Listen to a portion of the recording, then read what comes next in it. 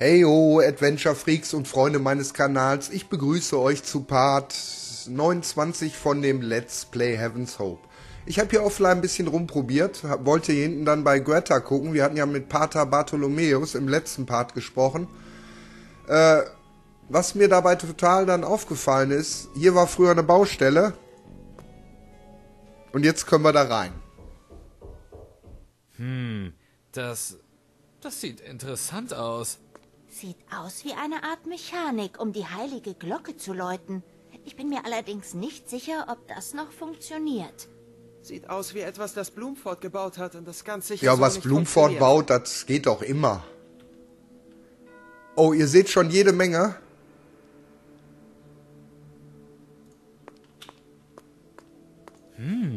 Eine heilige betreiben. Den Satz hatten wir schon. Wir können hier aber nichts anfassen. Außer diese, diese Eule hier ärgern. Die gucken wir uns erstmal so an. Flattervieh. Ich glaube tatsächlich ist es das gleiche Flattervieh wie bei Bill auf dem Hof.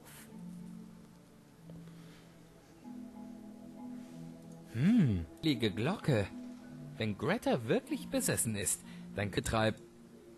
Egal, was ich hier angucke, er sagt immer dasselbe. Also gehen wir erstmal hier lang, um zu gucken, was es dort draußen gibt. Eine wunderschöne Aussicht und ein Gargoyle. Noch so eine seltsame Kreatur aus Stein. Dieser steht allerdings ziemlich fest. Spitz wie ein Haken. Ein Haken. Können wir den abnehmen, das Horn? Wofür soll da das komme ich sein? nicht dran. Vielleicht die Maus dahin schicken? Das kann ich ihr nicht antun. Okay, sonst war hier nichts in dem Bild. Ja, und dann habe ich, äh, weil ich offline ein bisschen probiert hatte, wie ein Irren. Und irgendwann bin ich dann mal zurück in die Kirche. Weil wir müssen noch mal mit Pater Bartholomäus reden. Hallo, Pater Bartholomäus. Hallo Talorel.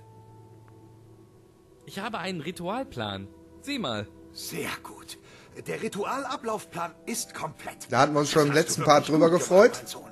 Äh, Hast du auch alle Komponenten für das Ritual zusammen? Ich habe alles, was wir für den Exorzismus an Greta brauchen. Und McCallum schafft Greta in den Kreis, wenn ich sie aus ihrem Saal in die Kirche bekomme. Und ich weiß auch schon, wie ich Greta aus ihrem Saal bekomme. Ich muss dafür die Glocke im Turm läuten. Der Klang der heiligen Glocke sollte sie aus der Kirche treiben. Sehr gut, mein Sohn. Dann nichts wie mit dir in den Kirchturm und auf die Glocke läuten. Weil der fordert Ich uns auf dich im nämlich auf und geht dann zum Ritualkreis. Also wieder ab in den Kirchturm.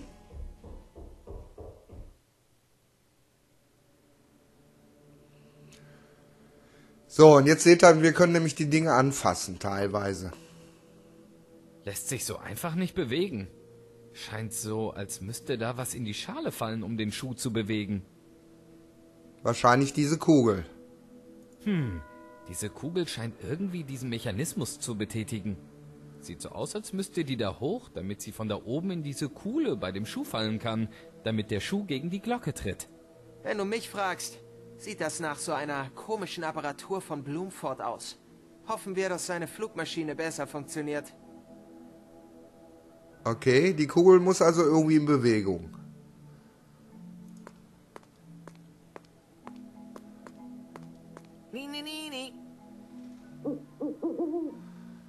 Okay, das funktioniert nicht. Dieser Affe hat scheinbar den Blasebalg betätigt. Sieht aber nicht mehr so fit aus. Die Kirchturmuhr von hinten. Sie steht still. Die Dinge können wir alle nur angucken.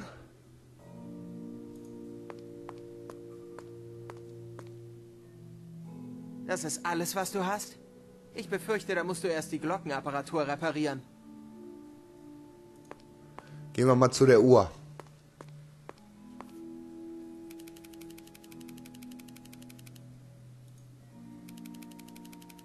Passiert aber auch irgendwie nichts.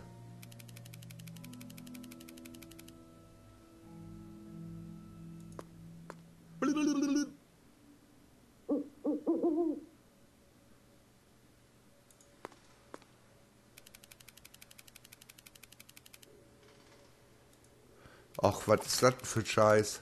Ah! Die Kugel ist in dem Rohr. Ich dachte, die rollt hier unten lang. Okay. Die hier ist in das Rohr. Da muss wohl die Kugel hoch. Dieser komische Brenner scheint kaputt zu sein. Der hat wohl mal das Rohr darüber erhitzt. Ob man den irgendwie ersetzen kann? Mir fällt jetzt was ein. Das kann ich ihr nicht antun. Die geht nicht in das Rohr, okay? Wo ist der Anselm? Weil das ist ja wegen Feuer. Kommt er bestimmt hier hin. Das könnte funktionieren.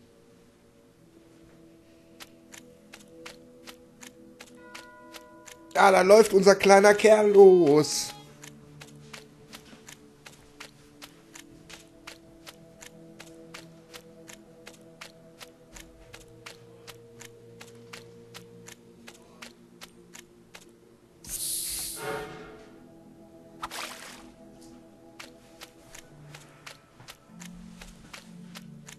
Fluppdiwupp ist die Kugel im Segelboot.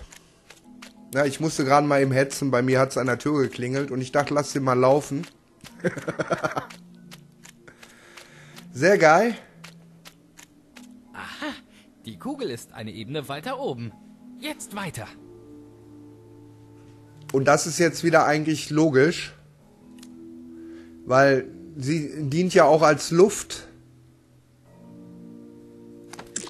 Dann schicken wir die Maus da hoch.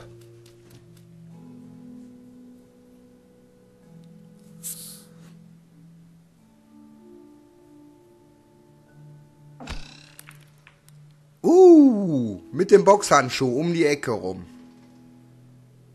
Komm zurück, kleine Maus. Ah, zurück läuft sie direkt da. Weißt du, wenn wir jetzt nochmal an der Uhr drehen?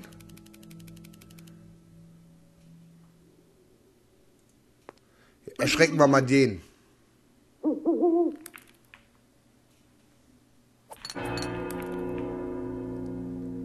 Sehr geil. Du hast es geschafft. Ich habe gedacht, das müssen wir jetzt öfter machen. Es ist nicht mehr Ah, Greta ist am Fluchen. Das war also alles richtig. unerträgliche Krach. Greta, halt! Was willst du, Mensch? Das geht so nicht weiter. Ich bin hier, um dich aufzuhalten. Du kommst jetzt mit. Was? Aufhalten? Du McCallum. hast Heavens Hope genug tyrannisiert. Das hat jetzt ein Ende. Was? Nein! Verrat! Judas! Du pharisäischer Taugenichts! Lass mich runter! Oh je. Na dann mal auf zum Ritualplatz. Okay. Auf zum Ritualplatz. Bartholomäus ist weg.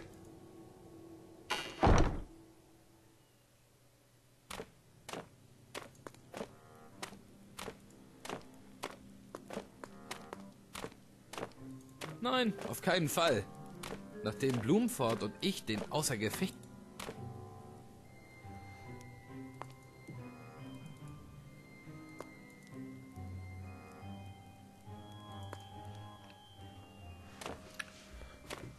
Stadtrand.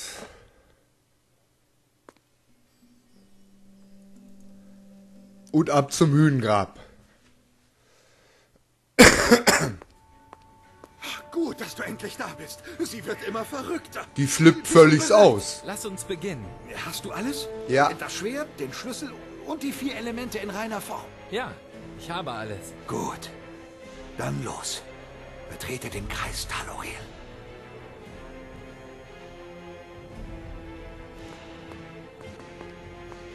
So, das dicke Ritual.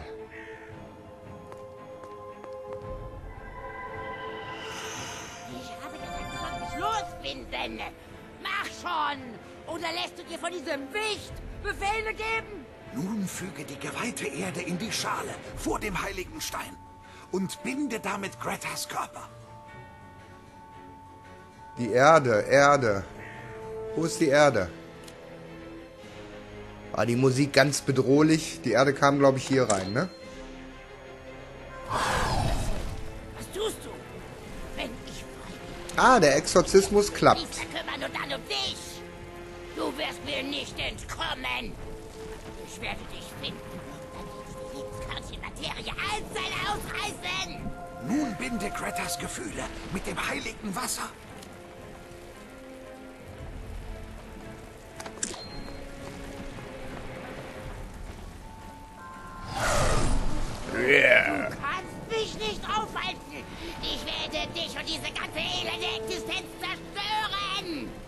ihr nun ihren Willen mit dem Feuer. Oh je. Mit dem Feuer, das war der Anselm. Da ist er.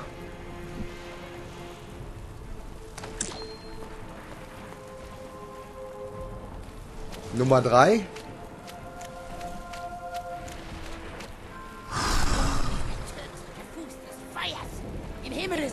nur ein Priester.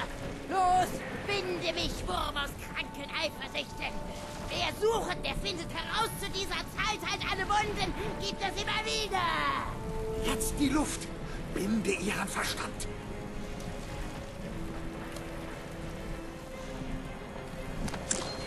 Die Maus ab zum Blasrohr, die pustet jetzt wie wild. Das müsste es eigentlich gewesen sein. Bis auch mit dem Schwert noch. Da ist er angekettet an ihr, der Dämon. Mein Sohn. Und schneide den Dämon von ihr ab. Das Schwert von Michael. Das perfekte Werkzeug, um den Exorzismus durchzuführen. Nochmal schnell die Bedienungsanleitung gelesen. Ja. Was ist denn, wenn wir den da hinhauen? Hier muss ich es auf jeden Fall durchtrennen. Aber ich denke, das ist ein guter Zeitpunkt, auch wenn wir ein bisschen früher als sonst sind. Etliche Teile sind ja auch viel, viel länger. Aber ich denke mal, das führt jetzt ziemlich zum Ende und wir haben auch noch den Nachspann und andere Dinge, ein bisschen was wir vielleicht zu dem Spiel loswerden wollen.